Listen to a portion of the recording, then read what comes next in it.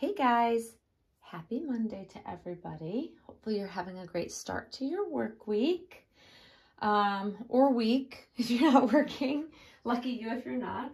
Uh, I wanted to make this video for quite a while. I've been kind of compiling um, a list of questions that are regularly asked over a period of time, whether it be, majority of them come from my silicone series playlist. And uh, a lot of times I will answer the question in the comments, but I also wanted to address them in a video because lately there's been quite a few topics rolling around that I think are important to chat about. And I think uh, a lot of people are afraid to talk about some of these questions and or uh, issues or just information that can be viewed as, I don't know, I guess sensitive, but I don't find it to be sensitive. I think it's important to be informed. And so I figure while we're doing that, um, I'm not going to fully undress her. I'm going to leave her in this, but I'm going to show you how I powder her because a lot of the questions that I have gotten have been around the powdering of silicone dolls. Um, and so I will share with you how I go about powdering because apparently not everybody powders their dolls the same. And I get a lot of questions about that. Uh, so I figured this is a good way to show you um, as well as answer some of those questions, but also I have, since I haven't powdered her in a really long time, um, I can just powder her, her limbs while she's got her limbs out because I don't want to change her out of this beautiful little outfit. I love it so much. So, um, and I will be, this is going to be a frank, very open conversation or discussion about how I feel about different things. And these are going to be, of course, my opinions, which every collector has their own thoughts and opinions on all of these varying topics and questions I'm going to answer. I'm just sharing with you my thoughts uh, based on what artists have shared with me or told me over the years and or my personal experience with silicone. And these questions are all relating to silicone dolls, um, not relating to vinyl reborns. So just to clarify that. So and I will and I will be happy to talk about the things that nobody wants to say. I'm not afraid to say them because I feel like honest discussions, whether it's what someone wants to hear or not, need to be sometimes put out there. Good information is lacking in the reborn hobby, I think, surrounding silicones. There's a lot of misinformation that goes around, just like with anything else. People you know, put out information that they're not 100% sure about, and then it becomes, you know, what people are doing. And in the end, it's misinformation. You know, it just happens. It's just, it, it happens in every hobby, right? Um, so I like to try to put out really good information that will be helpful whether or not you are an avid silicone collector and have been collecting for years and just might not know about this some of this information or if you're new coming into just now um, you know buying silicone or you're thinking about investing in your first silicone doll this is all going to be good information for you to know. So let's get into it. I have i printed some of the questions well i printed a whole bunch of questions out. I don't know if i'll get to all of them but i will do my best because I am working today and I just wanted to um, take a break uh, for lunch and make this video. And so here we are. Okay, so question, how often should I powder my silicone doll? And what powder do you recommend? And also, why do you wear a mask when you powder your doll? Is a powder not safe? That's a very good question. I do wear a mask every time I powder. I Whenever I do any type of powdering, even if it's just a light powdering or just like a spot that I just want to powder, which I don't powder. This style does not require powdering. However, I find it to be a little bit cathartic. You know, there's there's some like relaxation to it. And, you know, occasionally I just powder her just to powder her. it certainly will not hurt her. Um, but with Claire Taylor dolls specifically, they don't need to be powdered. Um, I don't know whether it's the different type of matting powder that she uses that is, you know, stays for as long as it does. She never feels tacky or sticky. Um, how often you should powder your doll is going to be dependent on what type of silicone the doll is made from, how well matted the silicone is. The first sign of a doll needing to be powdered is that they feel tacky or not. Some will really feel sticky to the touch, but when they start to feel like they could start to feel almost getting to the point of sticky, um, it's a tacky feeling, I guess, is, is the best way I can describe it. Monroe never feels tacky to me, um, but previous dolls that I've had by other artists have. And I've had downright sticky um, silicone dolls in the past. Um, but really, uh, it, it varies. It's not, it's not just a one answer to the question. It, it's going to depend on your doll and how well matted it is. Also, if you start to see shiny spots, um, that's a sign that, well, we'll get into that a little bit deeper, but you'll want to powder any shiny spots. That's, that's a sign that there's potentially a problem with the matting on the doll. If you're getting a lot of shiny spots, I, I do a thorough inspection of Monroe um, a handful of times a year because I want to make sure that one, you know, I, I notice any potential shiny areas where the matting could have rubbed off, especially in the highly handled areas on her body. Her hands, tend to be my biggest concern because we put so many things over their hands when we're putting clothes on them or taking clothes off of them. Monroe does have a slight shiny spot on this thumb here. It's ever so slight. And I mean, to me, I mean, some people might not call that a shiny spot, um, but it is an area that I, I look at all the time to make sure that I keep track of it, that you know, if the matting fully comes off of it, it'll become shiny, shiny. And then you have to worry about the paint also coming off. Um, but that's why I'm a huge, huge um, advocate of doing inspections of your doll, of your silicone dolls thoroughly, regularly. Uh, I, I generally look her over pretty, pretty closely when I change her. Even when I'm on camera changing her, I'm still looking her over. I've actually stopped and started because I thought I something caught my eye mid mid video midway through my video making a video um and then had to kind of resume because you know either it wasn't anything because I've been very very fortunate with this doll that she doesn't have matting issues like I, I don't know what it's it's many years I'm guessing of of uh, matting dolls making dolls but Claire Claire Taylor's matting is is very it's very hardy, I guess you could say, because it doesn't tend to be problematic, whereas I know that I've gotten silicone dolls directly from an artist brand new with shiny spots, with matting issues right from the giddy up, um, which is very concerning. So yeah, uh, depending on the, the silicone, how well the doll's matted is how often you're going to want to powder your doll. Um, the powder that I recommend, I actually like a lot of the powders that are out. I think that there are many choices.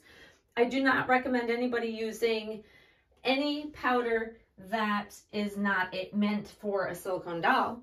So we don't do, we don't do, I don't recommend this because it's not, it, it says pure cornstarch, but it's not It's got additives in there. It's got aloe, it's got vitamin E, it's got things added to it. So just to be on the safe side, I recommend using, if you're gonna, if you're gonna powder your doll, use a brand that's meant for silicone dolls. So I've got this one, which is sold by Wee Baby Nurseries, Wee Baby's Nursery. I've also got Claire Taylor's powder.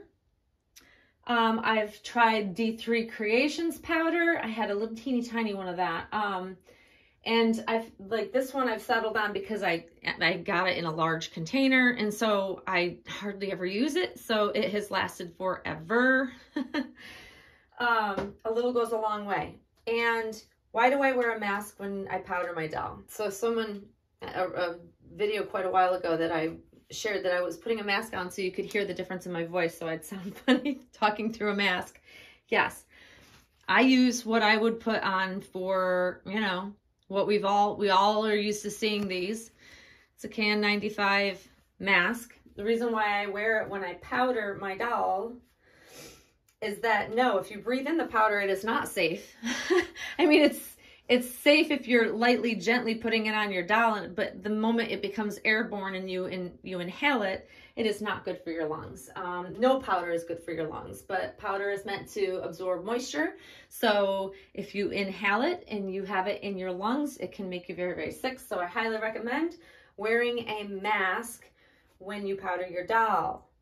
Um, next question is kind of part of this.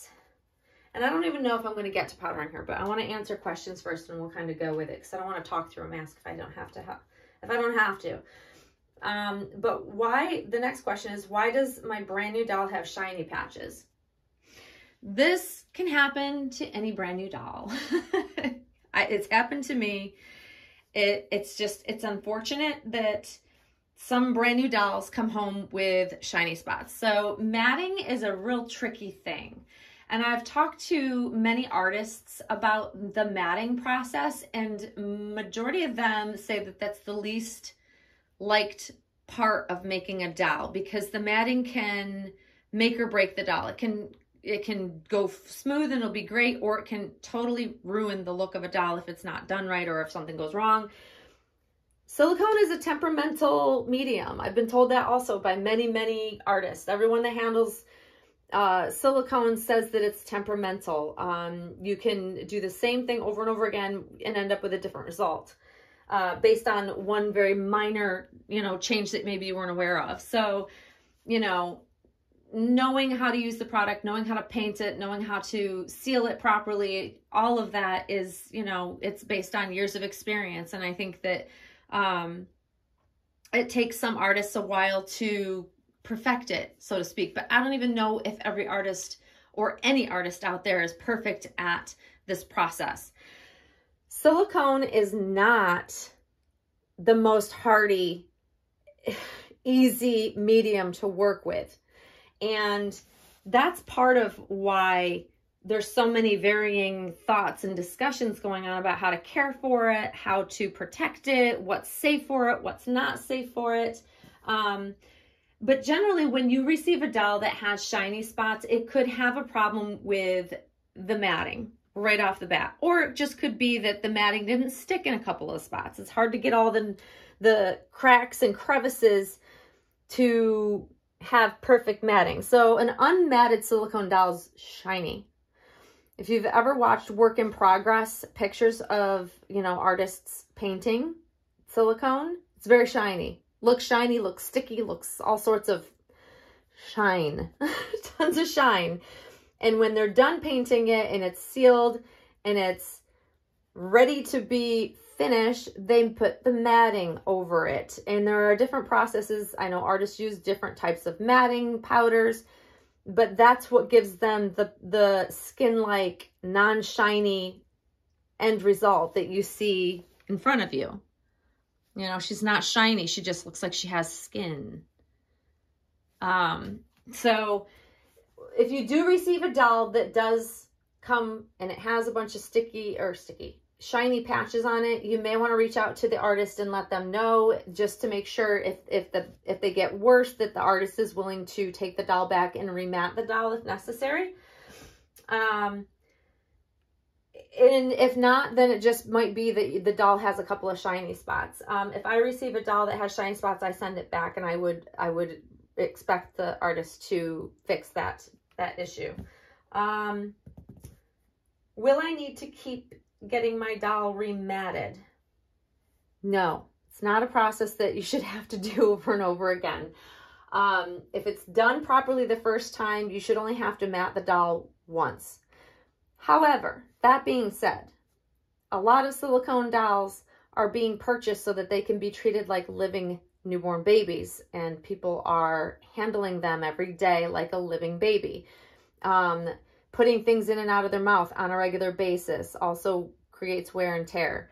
Um, just normal wear and tear, if it's excessive, excessive handling or rough handling can result in the doll losing matting and or losing uh, the paint eventually. Uh, so, you know, if the doll is cared for properly and is gently handled and gently loved and not bathed, the doll should not need to be rematted. Most artists, unless it arrive to you with a problem will not just remat a doll for you. It's a service that I'm sure um, some artists definitely provide, but most really busy, well-known artists will, they don't have time to remat and fix, you know, their older dolls. They just don't. Um, Claire used to fix her older dolls, but now if you're the original owner, that's the only time I think she'll actually take the doll back and make a repair because she's too busy doing other things.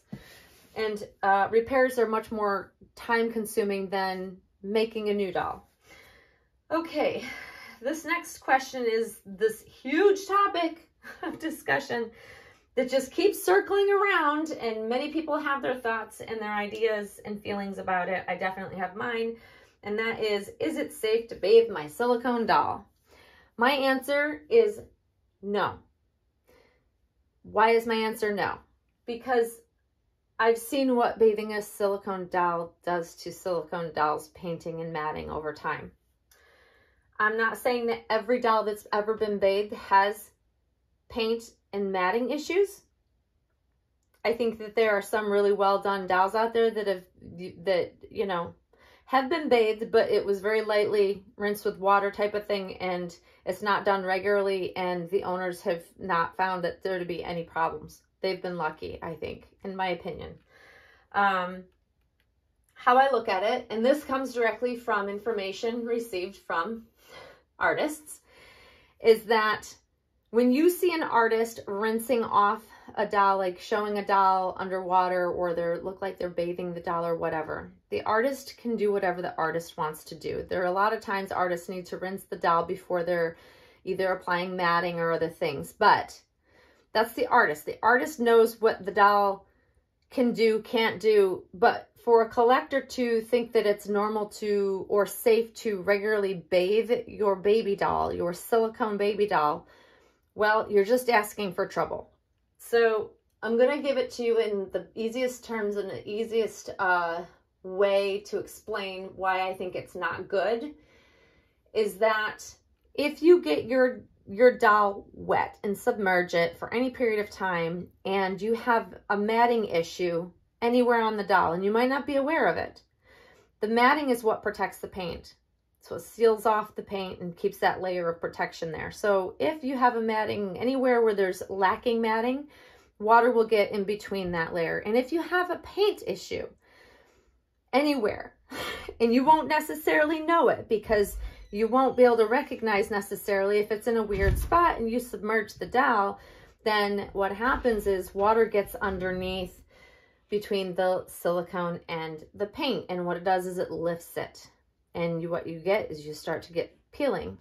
And what most collectors don't understand is once a doll starts peeling, there's no fix. It just continues to peel because it's just lifted, lifted, and it just continues with wear, with holding, with putting clothes on, taking clothes off, handling.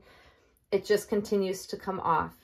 Now, I had a question in relation to this is, well, why can't they just fix that? Well, I'm guessing they would be the artist, but it's not that simple. So a silicone doll isn't like a vinyl doll where you can just wipe it clean, clean slate. Like you can take a vinyl reborn and you can remove all of the paint all of anything that's been put on it and start over again. With a silicone doll, you can't do that. A silicone doll, if you're trying to remove paint and even it out, requires sanding because for most of the spots that haven't lifted, it, it does become one with the silicone, the paint. And so to remove it and to start with a blank canvas again, you'd have to sand it off, which takes hours and hours.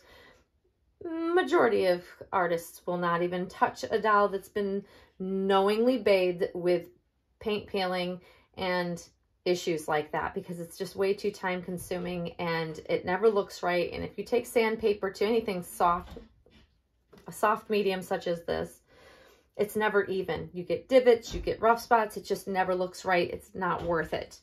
So in my opinion, it's not good to ever bathe your doll. I don't recommend it. And I've always said to people, I'm like, would you take a painting off your wall fill a, uh, a bathtub with water and submerge that painting, that piece of artwork, and submerge it in a, in a tub of water and bathe it? No. You have to remember at the end of the day that these dolls are works of art. They are still works of art. They're painted surfaces. So if you, you know, approach that in the way that you think of a doll, yes, we hug them, we love them, we change them, we, you know, we do things with them, we role play with them, but you have to remember to handle with care. They're delicate and should be treated with care, like you would a piece of artwork. And if you apply that logic to it, it does make a little bit more sense. Now, I know that some people will respond to this saying, it's my doll, I can do whatever I want with it. You are absolutely 100% correct. These are my opinions. I'm offering up my opinions because people have asked for them. So that's why I'm giving you my thoughts on it. And yes, it's your doll. You can do whatever you want with it because it is your doll. It's your investment. But should you ever go to sell that doll and you've bathed it time and time again and potentially caused issues, you're selling on your issues to another collector, which that has happened to me multiple times. That's why I feel the way I feel about it. Most collectors don't disclose that they've bathed their doll. When you go to buy a doll in the secondary market and you don't know the history of the doll, you're basically taking a chance that someone at some point in time has potentially bathed the doll and caused issues that may not arise immediately. They may it may take a while for them to show up. But you will have just either given away the problems to somebody else unknowingly and someone else buys your problems. That's to me that's not a sound investment. Um, so no, I, I get that people want to do what they want with their dolls, but if you have any thought that you may sell a doll in the future, which most of us do, in order to, to, you know, get a better doll or what have you. If you ever think you're going to sell it, you shouldn't bathe it. And if you did bathe it and you go to sell it, you better disclose it so someone knows what they're buying.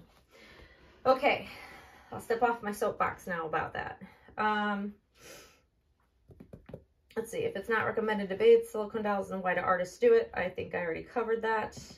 They also do it because it's um, it's the realism. It's why everybody wants to buy a doll and bathe it. It's the same reason why artists will show them bathing it prior to rooting or I mean I see a lot of I see a lot of artists doing that before they mat the doll um but yeah it's for realism uh but majority of artists don't recommend it uh, let's see oh can silicone get stretched out yes um I've seen numerous artists do this where they take a piece of silicone, an arm of a doll or an arm or a, a limb that they might be practicing on or just maybe they, they poured it just so they can show this. But they, a, an artist or a silicone pouring company, I've seen multiple videos where they take an arm or a leg and they stretch it so they can show like the limits of the silicone, the durability of the silicone but it's nothing you want to be doing with your doll. Like when you're clothing your doll, we always talk about not pulling the limbs through, but you know, pushing the limbs through from like the elbow up and that sort of thing. And you don't ever want to just tug on fingers because they can tear and you can pull them off. I've seen people do them accidentally, never on purpose, but this is soft silicone. You know, the softer the silicone, the more likely it is going to stretch and rip. Um, so yes, uh, it can get stretched out. A lot of um, people, when they're constantly putting pacifiers and bottles in the doll's mouth and opening it all the time, or they leave, you know, pacifiers in the doll's mouth, yes, the mouth can get stretched open and stretched out. Um, so be aware of that. Yes, it, it's it's stretchy, you know, and, and a lot of constant pulling can stretch them out. Uh, let's see how easy is it to damage a silicone doll? So this is where um, a lot of people don't like to hear this because I, I know a lot of, you know, pourers want you to think that this is the most durable thing and they do the stretching videos where they take a piece of the silicone and stretch it to the max. First off, the silicone has been painted, so there are chemicals involved, um, and then it's been matted, and then we clothe them and we do things with them. And over time, there's wear and tear that happens. So it's, it's actually, silicone as a medium is a very delicate medium, in my opinion, but it's also durable when treated and handled with care. And that's, that's just the key is you have to be respectful when you're handling it. If you handle it roughly or excessively and you're bathing it all the time and you're just doing so many things with it, yes, the likelihood is that you could do damage to it. How easy is it is, is it to tear? Um, it depends on what, you know, circumstances are. I don't think any of us ever intend to damage our dolls. We, didn't, we never set out for that to happen, but damage occurs depending on, you know, what you're doing with it and how often.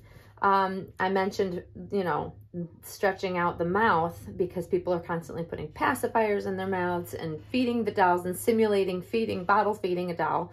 Um, I've, I know that even the best silicone can tear, especially in the corners of the mouth. I always talk about this when I do like an inspection and talk about, you know, the the points on a doll that are problem areas that tend to be a higher probability that they could tear, like inside the arms, at the elbow crease, under the armpits, the neck, the mouth, the ears where they attach, you know, in between the toes, in between the fingers. Like there are definite spots on the doll that will get more wear and tear just from simply clothing them. Like if they have open fingers, you guys always see me put gloves or hand mitts over her hands when I dress her because I don't want to constantly be pulling on and rubbing things across as I'm clothing her. You know, it's also what can eventually take the matting off. So that's why I always put little hand mitts on her when I'm when I'm dressing her.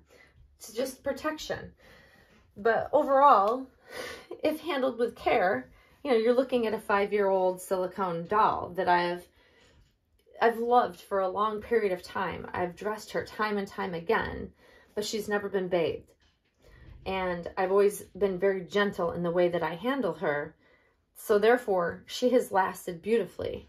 She has a full head of hair. A lot of dolls that are, you know, and a lot of silicone dolls lose hair because people are constantly brushing their hair. You'll see me kind of pat it down, but I don't generally brush it. She doesn't need to have her hair brushed. But that's something else you have to be aware of. You know, it cannot be sealed in a silicone head. It's a solid head. So therefore, you have to be careful when you're brushing through a silicone doll's head of hair so that you're not pulling it out and it's losing hair constantly. It's just kind of applying a little bit of common sense to, you know, a huggable piece of artwork. Um, if you handle them carefully, you get to still love them. People like, how can you enjoy a doll if you're so afraid you're going to damage her? Well, I, I'm not afraid of damaging her. I'm just careful with her. And I make sure that I always wash my hands before I handle her so nothing is on my hands that can transfer. You know, if I'm going to hold her and she doesn't clothed, I make sure that my arms don't have like lotion on them or I put, you know, a long sleeve shirt on so that I'm not putting my oils and or lotions and things that could react with her. Common sense. They're just think in the terms of being cautious, but you still get to enjoy your doll and it still lasts because I want her to last a lifetime if if that's possible. Um, so yeah, they can be damaged, but with being gentle and being careful, they won't get damaged. They'll last and stand the test of time, you know? Five years of loving this baby. And, and I, when I say loving her, I have thoroughly enjoyed her.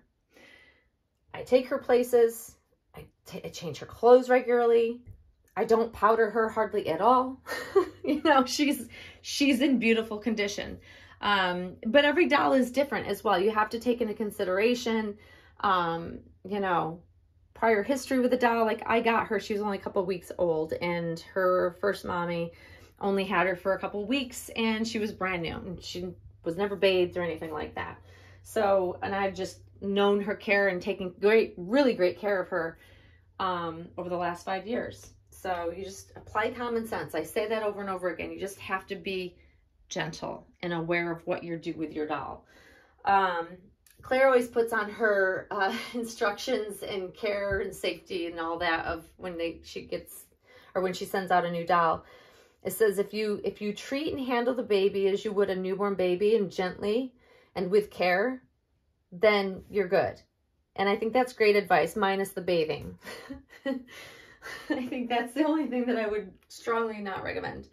Okay, um, oh, this one's a good one. Is it a good investment to buy a silicone doll over a vinyl doll and which one lasts longer? honestly. I don't know which one would last longer. That's my honest answer. I don't know the answer to that question because I haven't, I think it depends. I think it's an apples and oranges thing. Um, but do I think it's a good investment to buy a silicone doll over a vinyl doll? I think that that is a personal choice that each collector has to make for themselves. I know some collectors, longtime collectors, that swear they'll never, ever, don't want anything to do with silicone. They don't like the feel of it. They don't like the care involved, the fact that it's more delicate and they're limited. They just will never, ever own a silicone. They don't care. And I, and I love that they know themselves. But then you have some collectors that start off like me, who never at first didn't like the idea of having to care for a silicone doll and that there you would have to, you know, there's maintenance involved or you'd have to powder it regularly or any of that. Um, I also started off with that, eh, I don't know if I want to get involved in that either. But over time, the realism is really you know, if you want the full package and the full experience of super realistic in the way they hold, the way that you hold them, the way they feel, just the way they move, silicone is where it's at. And so I would say 100% for me, my investment is best in a silicone doll because that's what I know I'm going to enjoy 1000% the most. Um, hands down, there's nothing like you know, the, the feel of a silicone baby in comparison to a vinyl reborn. For me, vinyl reborns are more, they're beautiful to look at. And not that silicones aren't beautiful to look at, because she's beautiful to look at, but I want to interact with her. I want to hold her. I want to do more with her that's interactive than I would when I had Lola. Lola, I rarely ever held her, ever. I might have held her maybe a couple of times, to be honest with you. Um, but my go-to was always to pick up Monroe if I'm going to hold a doll because she feels the most real. Um, vinyl doesn't warm up and feel like a living baby like silicone does when you've held them for a period of time. The silicone becomes the same temperature. it's, it's amazing. Um, there's just nothing like it if you want the full experience and interaction um, of a, you know, what a living newborn would feel like. Um, silicone is where it's at for me. So I would say 100% it's a good investment to buy a silicone doll. I think that silicone, not all, but most silicone retain their value longer than a vinyl doll. Even, even if it's um, a really well done vinyl, most collectors are more willing are, are willing to spend more money on a silicone versus a vinyl hands down. That that the market tells us. So yeah. Um why are there so many varying opinions about the care of silicone dolls in the hobby? That i sort of already talked about that but i'll i'll say it again. Um i think that those of us that are making videos talking about the care of silicone um i think most people that are making these videos go into it with great intentions, but they might be newer to collecting and they haven't experienced it all yet. Um, I have learned a lot of the information about silicone especially uh, the hard way. the hard way. I've experienced um, some not so great experiences early on um, directly from artists. I've had friends that have endured some really awful things that have happened to their, their silicone dolls. I've heard a lot of feedback directly from artists that were willing to share it at the time.